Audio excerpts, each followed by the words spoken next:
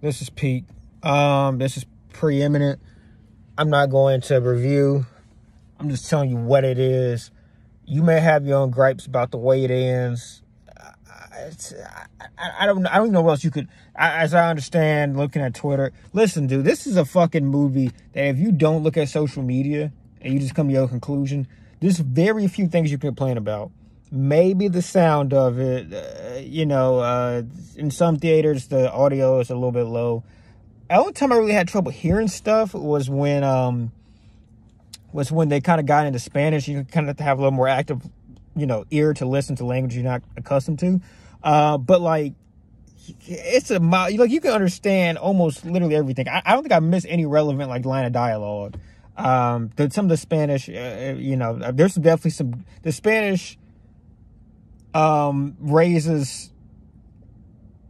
You don't need to know Spanish to get what's being said by people speaking Spanish in this movie, but at times it was kind of hard to, to, to, hear a little bit.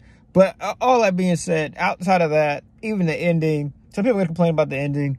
Um, I, I, I liked it. I, I didn't. It doesn't stay on its own like the fucking Dark Knight or whatever. This is just me regurgitating shit on social media. If I didn't look at social media before I did this review, which I probably shouldn't have, I would have no problems with this movie. None.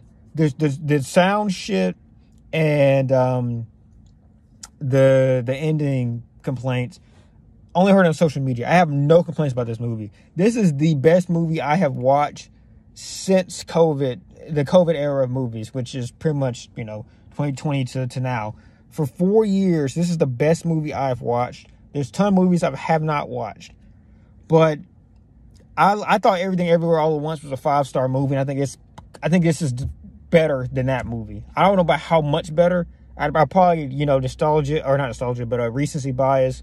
Um, it, it beats the shit out of Tar. I, I saw someone say this might be, Tar might be better. This this piece of shit Tar. This is fucking 20 points higher than Tar. The fuck shit. Like, I, I love Tar. I, I listen to Tar in AirPod Max, fresh out the box, damn near.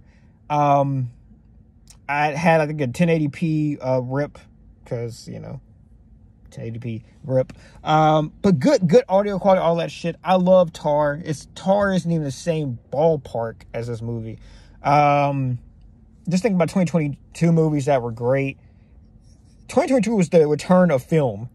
And I don't know if any movie I watched from 2022 is in the same ballpark as this. Everything, everything, everywhere, all at once, blah blah blah, hit some of the same notes. So, yeah, I think I think it might be comparable. But like I said, that movie made me feel something watching it in theaters, and I think this movie might be better. It didn't. It did. I did. I did get a little bit sentimental. Like I didn't tear up. I damn near teared up everything ever all at once. The only thing I'll say that that gets everything everywhere a little bit uh higher is in the emotion department. But even then, like it's comparing like an 11 to like a 10 because I think the emotion in this movie for a fucking animation is fucking incredible. This and that what makes that work is how good the sound or not the sound, the acting is, the voice acting. The voice acting is incredible. The way they depict things with the fucking uh, cinematography is incredible. Um, the like the way that the damn characters move and, and emote is incredible. The drawing is the storyboarding is incredible. There's nothing that's not incredible about the way things are positioned, posited, acted, voiced in this movie.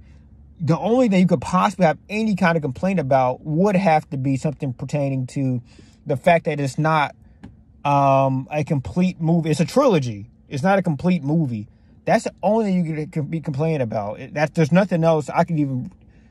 If you enjoy movies, this movie is worth watching. There's no superhero cartoon disconnect, none of that shit. Like Spirited Away. If you enjoy films, Spirited Away is objectively a good film. It doesn't matter if you're 12, 97, you hate anime, yada, yada, yada. That's a good movie. This is a good fucking movie.